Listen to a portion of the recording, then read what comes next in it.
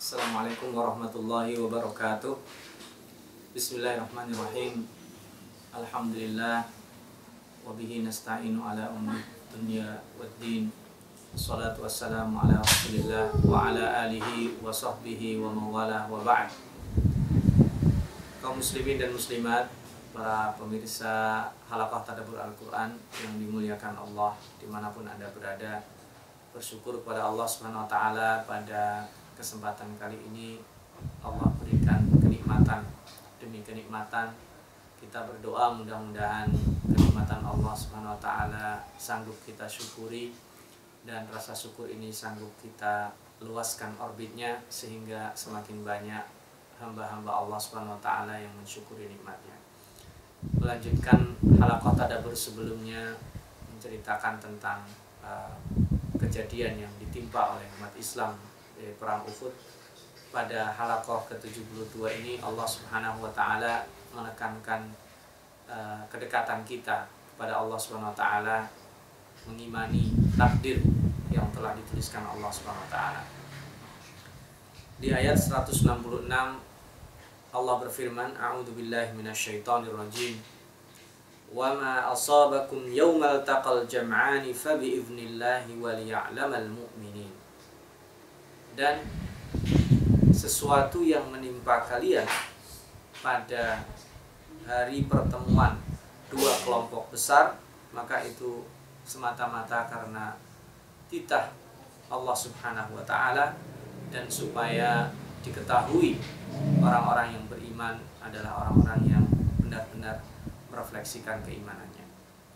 Yang menarik adalah pada firman Allah Subhanahu wa taala kali ini sebagai kelanjutan ayat 165 bahwa ketika Allah SWT berfirman pada ayat sebelumnya awalamma asabatkum musibatun qad asabatum mithlaiha qultum anna hadha.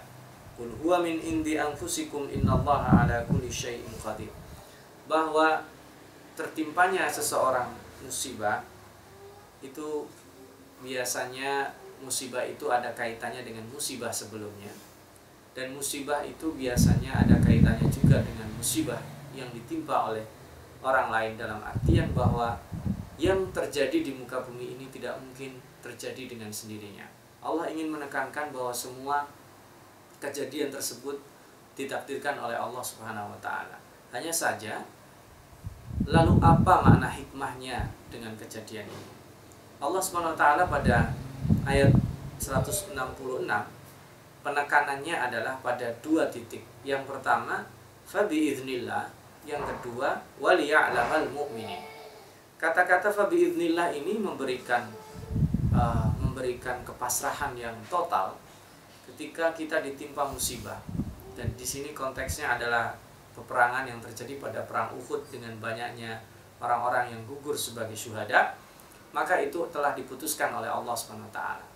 Dan mereka menjalani keputusan itu uh, semuanya akan dikembalikan nantinya kepada mereka. Dan Allah Subhanahu wa taala kata-kata yang dipakai di sini bisa saja misalnya wa ma asabakum yaumal taqal jama'ani misalnya fa bi qudratillah misalnya fa bi iradatillah itu makna yang senada. Tapi Allah Subhanahu wa taala memilih fa bi idznillah bahwa seseorang keinginannya ingin mencapai apa pun juga maka yang pertama adalah tapi iznillah dengan izin Allah swt. Jadi penekanannya tidak mungkin terjadi kecuali dengan izin Allah swt. Maka kemenangan, kematian, musibah maka dengan izin Allah swt. Yang kedua, waliya'lamal mu'minin. Liya'lam di sini adalah waliyuzhir linnas supaya Allah Subhanahu wa taala memperlihatkan kepada manusia siapa di antara mereka orang-orang yang benar beriman bukan wali alam di sini adalah supaya Allah tahu. Allah sudah tahu dan maha tahu dan kemahatauan itulah yang kemudian menyebabkan Allah memutuskan keputusan orang ini akan diberikan musibah. Orang ini akan dientaskan dari musibah. Orang ini mendapatkan hikmah dari musibah. Berikutnya, waliya'lamalladzina nafaqu. Sekaligus dengan adanya musibah itu, seseorang akan diketahui dia termasuk orang yang beriman yang itu sudah terjadi atau termasuk orang-orang yang munafik. Karena Dengan musibah itu orang munafik tidak bisa bersembunyi di balik kedoknya.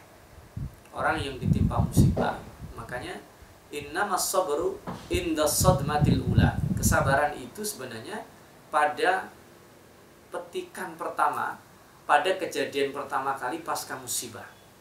Ketika orang habis ditimpa musibah itu dia mengumpat Allah, dia sabar, dia menangis meraung-raung atau dia tetap sedih tetapi bisa mengkontrol dirinya Di situlah letak perbedaan antara orang yang beriman dan orang yang munafik.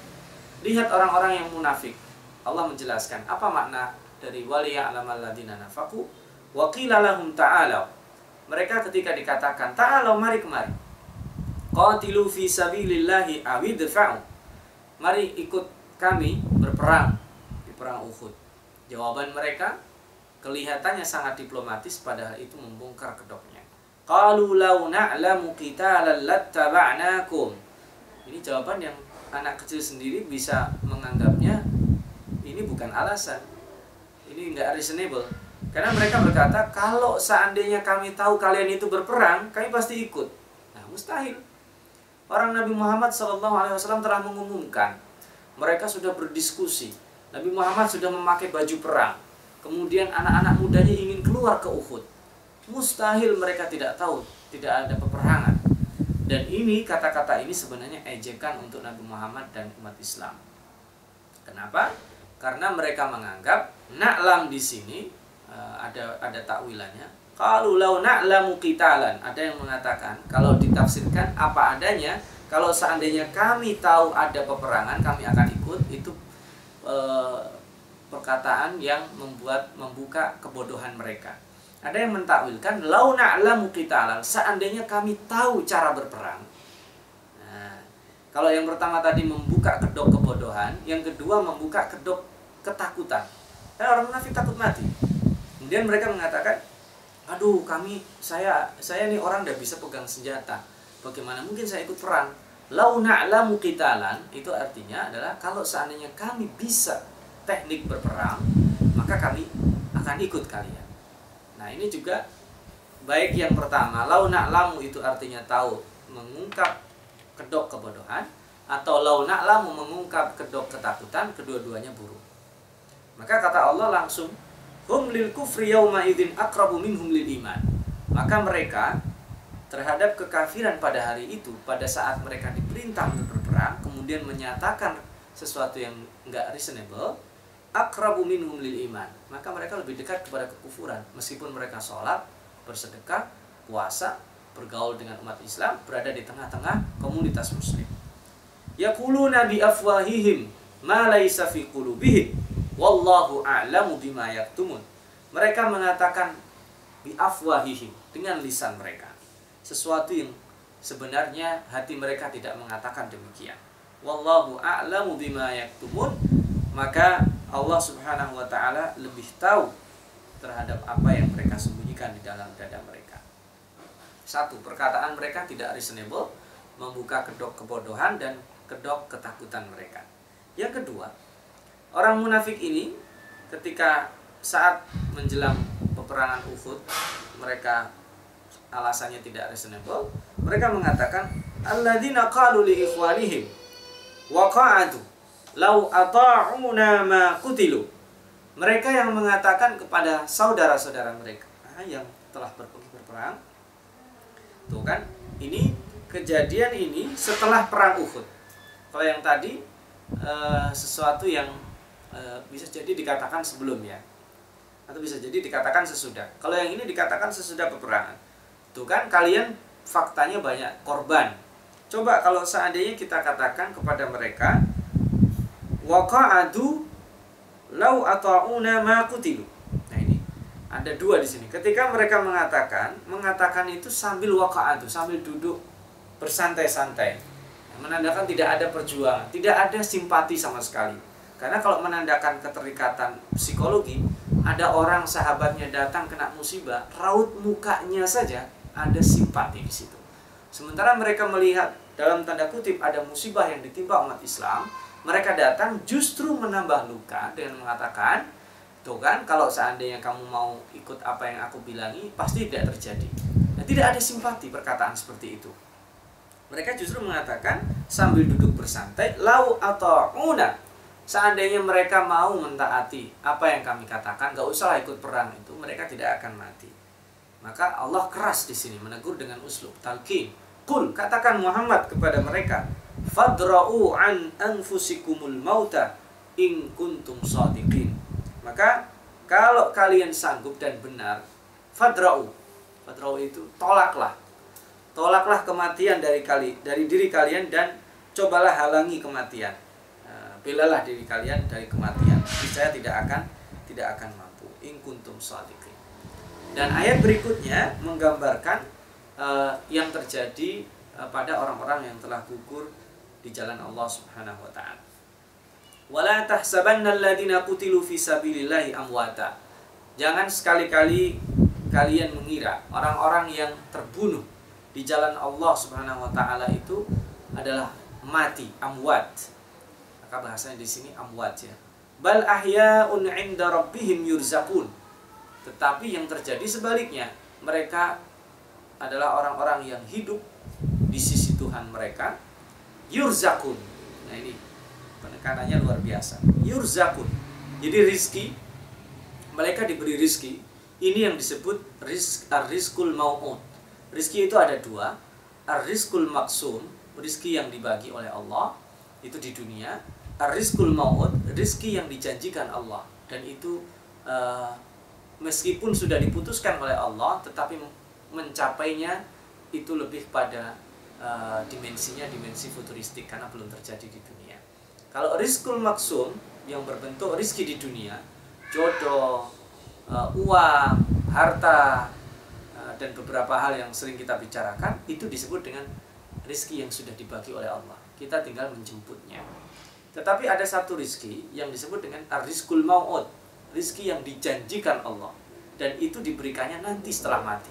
Makanya ini di sini mereka yurzakun itu gabungan dari ar-rizkul maksum yang mereka sudah dapatkan di dunia dan sudah selesai, ajal sudah sampai.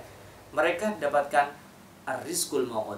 Rizki yang dijanjikan oleh Allah bagi orang-orang khusus yang mau berjuang di jalannya. Apa itu rizki yang diberikan Allah kepada mereka? Lihat. Farihina bima atahumullahu min fadlih.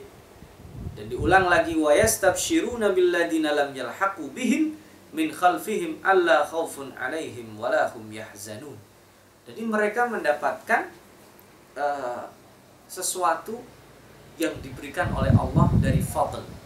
Ya, orang kalau mendapatkan keutamaan dari Allah Subhanahu wa taala tidak ada orang lain yang bisa lebih tinggi keutamaan dari orang yang diberikan tersebut.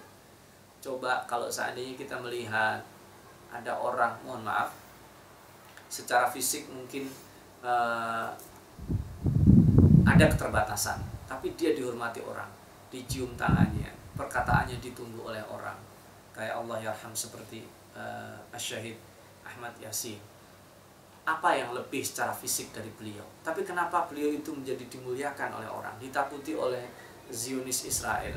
Kenapa orang-orang yang secara fisik saja seperti itu dimuliakan? Maka itu fadl di dunia. Allah muliakan. Apalagi nanti ketika fadl itu adalah bima atahumullah min fadl itu dari keutamaan yang Allah berikan setelah mereka tidak ada di dunia. Ini luar biasa. Dan yang kedua, di antara bisa disebut dengan penjelas fadl itu adalah wa yastabshiruna billadina lam yalhaqu bihim min khalfihim. Mereka juga memberikan kabar gembira kepada orang-orang yang nantinya datang setelahnya. Dan ini diperuntukkan pada orang-orang yang berjuang uh, dan belum menjumpai syahid di jalannya. Nah, itu nanti mereka akan mendapatkan apa? Allah khaufun alaihim walahum yahzanun. Jadi mereka tidak tidak akan mendapatkan rasa takut dan tidak akan mendapatkan rasa sedih. Kan kita kan kalau hidup di dunia ini dikepung dengan dua perasaan ini. Takut pada masa depan, sedih pada masa lalu.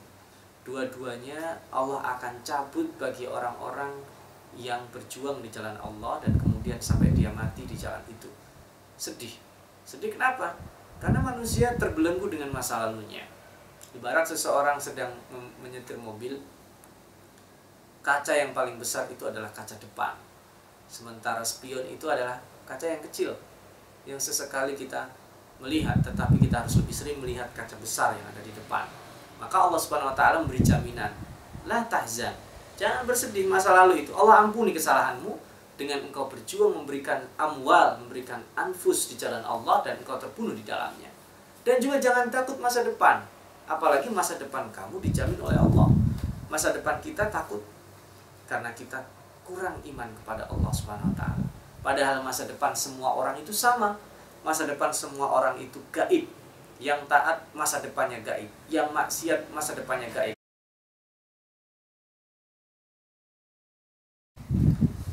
Kaum muslimin dan muslimat rahimakumullah. Jadi Allah taala memberikan jaminan kepada orang-orang yang berjuang di jalannya, dia tidak akan sedih masa lalu yang diterimanya dosa-dosanya diampuni oleh Allah dia mulai dengan sesuatu yang baru masa depannya apa yang ditakuti? Karena masa depan yang serba gaib semuanya sama. Maka ketika dia mendapatkan jaminan Allah khaufun alaihim walahum yahzanun. Jaminannya dari siapa? Dari Allah melalui orang-orang yang telah dipanggil oleh Allah swt jadi ada dua di sini. Mereka uh, berbahagia dan kemudian dijelaskan Allah pada ayat berikutnya. Kalau tadi itu dimensinya adalah memberitahu kepada orang-orang yang datang setelahnya, pemberian Allah luar biasa. Maka di ayat eh, 171 Allah Subhanahu wa taala mengulang lagi apa itu yang fadl diberikan Allah? Yastabshiruna binikmatin minallahin wa fadlin wa anna Allah la yudhi'u ajral mu'minin. Diulang lagi bahwa mereka memberikan bisyarah memberikan istifsyar. Istifsyar itu begini.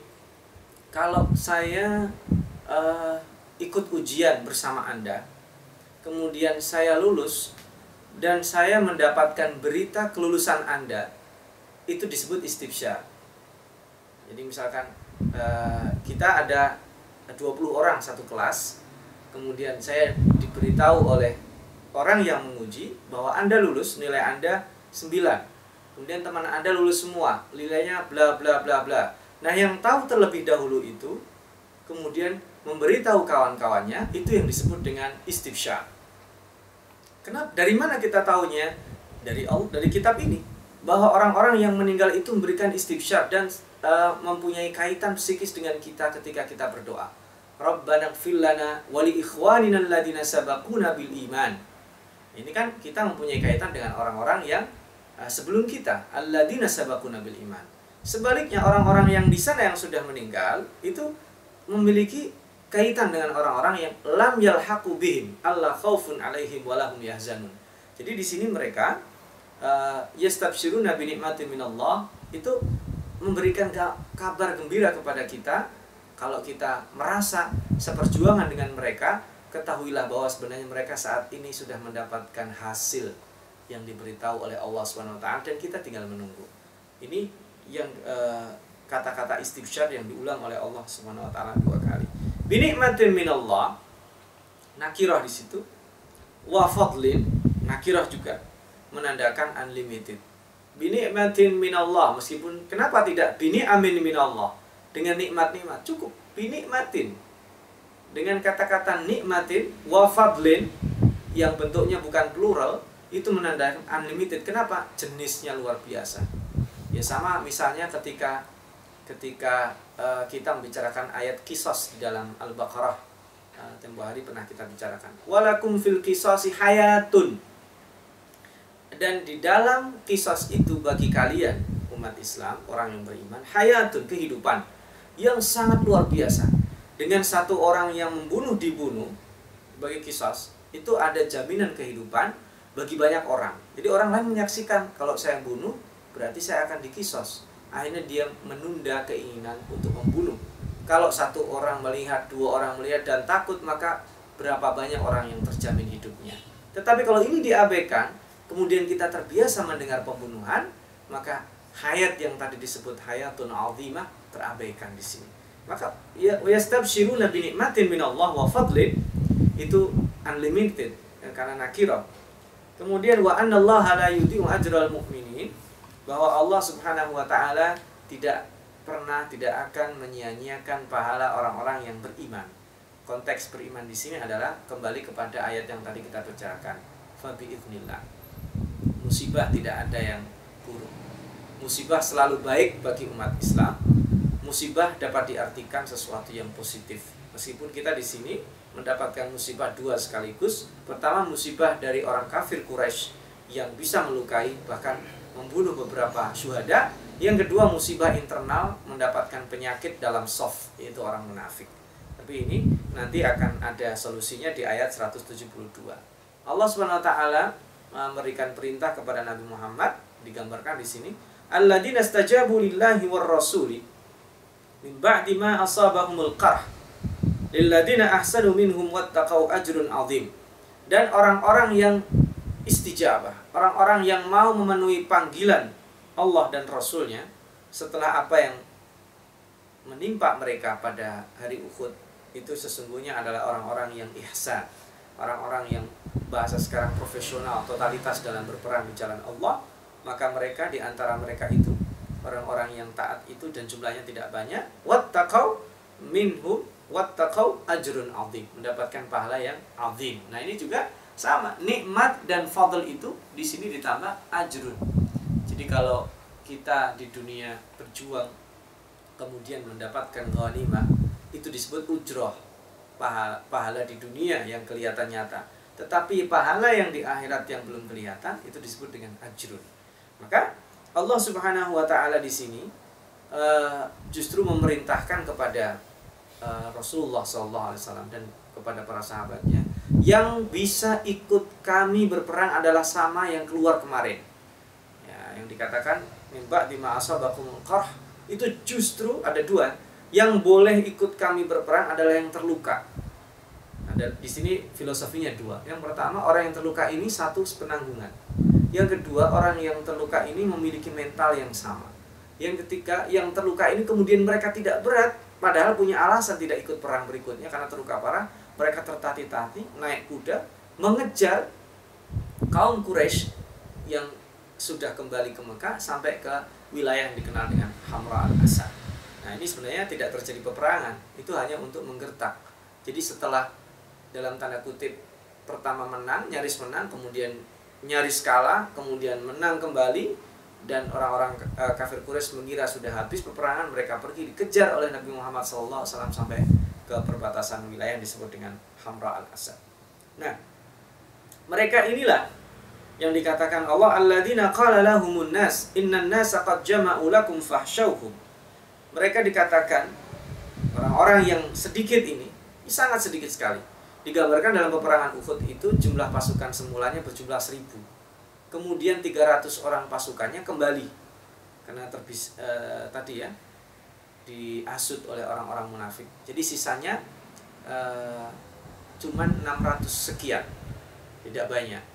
Dan kemudian orang-orang yang sedikit itu kemudian lebih sedikit lagi yang mereka kena luka yang mau berjibaku dan bahkan sebagian di antaranya mau mengorbankan diri menjadi tameng hidup Rasulullah SAW ketika nyaris terbunuh.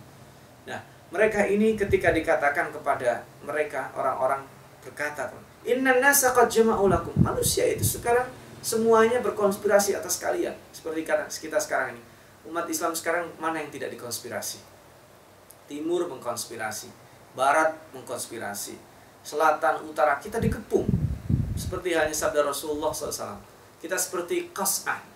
Tatada'a alaikumul umam kama tatada'a al-akalatu ala qas'atiha. Seperti hanya orang-orang itu rakus sedang uh, mengambil makanan di meja makan di atas maidah. Maka ini uh, karena memang ada masalah internal, tapi justru orang-orang yang kuat ketika dikatakan kamu sedang diincar sama si fulan, si fulan, si fulan. Justru orang yang kuat imannya, karena tadi ini bicarakan nomor atasnya tadi waliya'lamal mu'minin, kemudian yang kedua la yudhi'u ajral mu'minin, maka ini juga alladzina qala nas inna nasa qad jama'u lakum fahsyauhum judulnya adalah fazadahum imana justru yang bertambah adalah iman maka justru kadang dengan ada musibah itu momentum momentumnya menjadi dua kutub yang ekstrim kalau dia semakin yakin maka imannya akan semakin kuat Kalau dia ragu maka akan semakin drop. Maka musibah itu untuk uh, menguji uh, iman. Maka di sini kata-kata iman fazadahum imana berarti kita diminta untuk ditarik kepada kutub yang uh, sebelah kanan. Waqalu dan mereka mengatakan hasbunallah. Perhitungan kami hanya kepada Allah taala. Mereka senjatanya canggih lah. Kita yang penting sudah menyiapkan senjata mereka itu Allah yang menginginkan. Oh mereka itu persiapannya begini loh. Kita sudah menyiapkan. Oh mereka itu punya pasukan begini yang terlatih loh. Pasukan udara, pasukan laut. Oh mereka punya cyber war, uh, cyber army. Oh mereka punya kecanggihan teknologi. Nah itu akan mengatakan kalau hasbunallah. Hitung-hitungannya itu sama Allah bukan sama kalian. Bukan sama orang yang mengancam kami, sama Allah. Dan wa ni'mal wakil. Dan senikmat-nikmat zat yang kita wakilkan kepadanya adalah Allah Subhanahu wa taala. Dan sebagai konklusi bahwa uh, pada halakoh ini sebenarnya kelanjutan dari halakoh sebelumnya yang menceritakan tentang bagaimana pilunya Rasulullah Wasallam menghadapi uh, sifat yang berbeda-beda para sahabatnya dan sebagian dari umat Islam ada pada waktu itu adalah orang-orang munafik dan kemudian Rasulullah dididik dalam tanda kutip oleh Allah Subhanahu wa taala dalam ayat 159 yang kita pelajari pada pertemuan sebelumnya bahwa kamu harus lemah lembut. Kalau mereka salah, fa'fu'an, ampuni mereka. Wastaghfirlahum, kamu beristighfar untuk mereka. Dan bukan hanya itu, jangan kapok. Wasyawirhum fil amr. Ikutkan lagi mereka.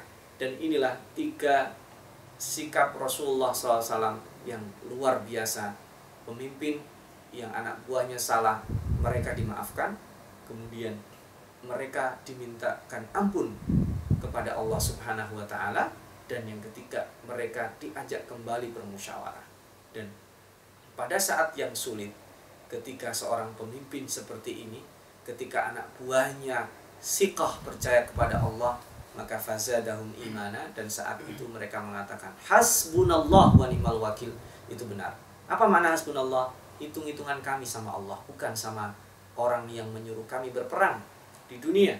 Bukan kepada kiada, bukan kepada pimpinan, bukan kepada orang-orang yang menakut-nakuti kami, bukan kepada orang-orang yang nyinyir, bukan kepada orang-orang yang mengejek kami, orang-orang munafik.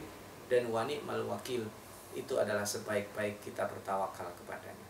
Mudah-mudahan tadabbur kita pada kesempatan kali ini memberikan uh, tambahan iman khususnya di hari-hari yang kelihatannya uh, dunia tidak berpihak kepada Islam dan umat Islam di mana-mana uh, ketika ada sesuatu yang tidak beres maka umat Islam menjadi inferiority complex seolah-olah mereka adalah penyebabnya di mana-mana ada kemajuan teknologi seolah-olah umat Islam tidak ada peran di sana padahal sebenarnya uh, umat Islam harus mengembalikan mentalitas keimanannya supaya dia bisa lebih bermanfaat dan supaya tidak ada lagi kecemasan baik kesedihan masa lalu ataupun ketakutan yang ada di masa depan. Mungkin ini yang bisa Al-Fakir sampaikan pada kesempatan kali ini. Mudah-mudahan uh, halakoh tadabur kita bisa kita sambung pada pertemuan selanjutnya yang masih membicarakan tentang uh, perpindahan antara nikmat dan fadl itu bisa menjadi musibah, musibah bisa menjadi nikmat. Uh, ala kulli halin uh, kita doakan mudah-mudahan orang-orang yang ditimpa musibah uh, diberikan tambahan iman oleh Allah Subhanahu wa taala dan kita yang tidak mustahil akan ditimpa musibah jenis musibah apa pun diberikan kekuatan untuk istiqomah sehingga fazadahum imana juga mengenai pada diri kita. Aku lu qauli hadza ja'alallahu wa iyyakum minal ladzina yastami'una al-qaula fayattabi'una ahsanah. Wassalamualaikum warahmatullahi wabarakatuh.